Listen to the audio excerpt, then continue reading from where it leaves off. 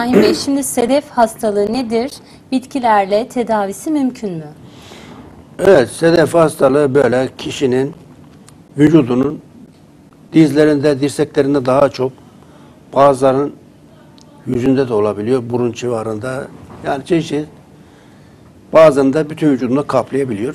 Bazı insanlarda böyle nokta nokta küçük küçük oluyor. Bazılarında böyle pul pul, üzeri beyaz, lekeli.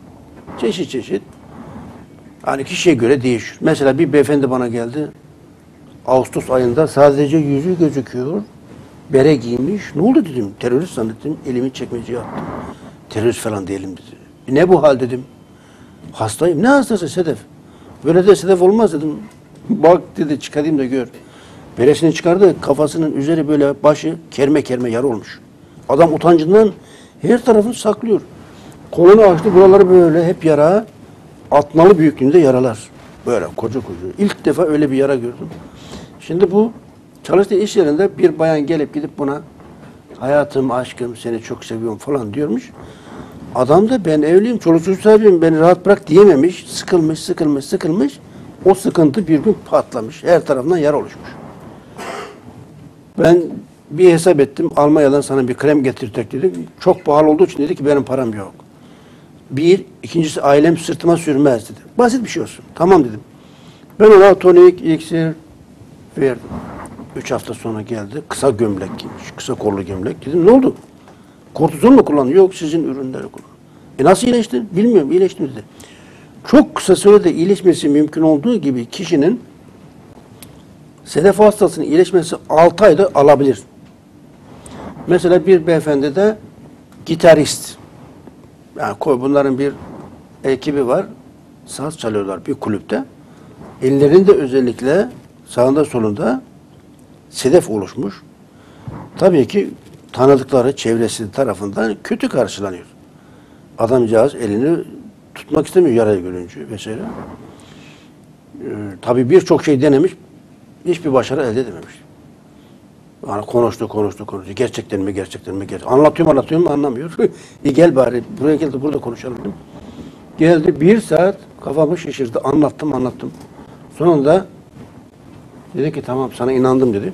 Bu Mahonia acufolium isimli bitki Oregon üzümü denir.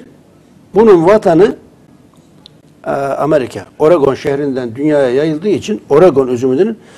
Bunun kökünün kökünün kabuğunda yüksek oranda yüzde on, yüzde on beş oranında alkaloidler var. Yaprağının, dalından, kabuğunda da yine alkaloidler var. Alkaloidler sedefi yok ediyor. Sedefi. Ha, bu vatandaş da Evet. bu ürünleri kullandı. Ne oldu? Üç ay sonra tertemiz olduğu gibi diyor ki reflüden kurtuldum, gastritten kurtuldum, bağırsak rahatsızlarım geçti. Cinsel performansım da yükseldi diyor. Tövbe estağfurullah.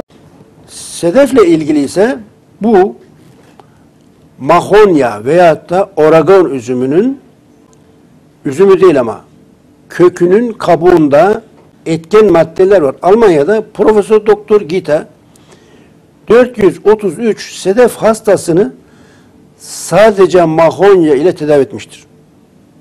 Profesör Doktor Neumann, Profesör Wiesenau yüzlerce hastayı mahonya ile tedavi etmişlerdir. Mahonya sedefe karşı dünyada en etkili bitki. Biz ne yaptık? Mahonyadan elde edilen, kökünün kabuğundan elde edilen ekstrakt artı kaç çeşit bitki var? 19 çeşit. Mahonya, ladengülü, sinirlot gibi 19 çeşit bitki, hamamelis, hamamelis virginiana, cadı fındığı da denir. Bu bitkilerin damıtılarak elde edilen ekstraktını kullanıyoruz. Neden ben bunu özellikle damıtılarak elde edilen ekstraktını kullanıyoruz diyorum? Özellikle bunun üzerine duruyorum. Çünkü Türkiye'de bitkisel gıda takviyesi üreten firmalar bitkiyi alıyor, kurutuyor, değirmende öğütüyor, kapsül yapıyor, hap yapıyor, damla yapıyor. tıraş- Olmaz. İnsan sağlığıyla oynamamak gerekir. Çünkü siz bunu at kestanesini öğütür de bundan hap yaparsanız etkisi yüzde beş. Çok çok az. Fakat damıtılarak destilasyonla veya ekstraksiyonla damıtılarak ekstraktından damla draje kapsül yaparsanız etkisi yüzde yüz. Bu nedenle insan sağlığıyla bazıları maalesef oynuyor, oynamayalım. Para önemli ama insan sağlığı kadar hiçbir şey önemli değildir. Yani insan sağlığını hiçbir şey öne geçmemeli. Yani bazı firmalar maalesef bunu yapıyor. Yapmamalarını tavsiye ederiz. Evet.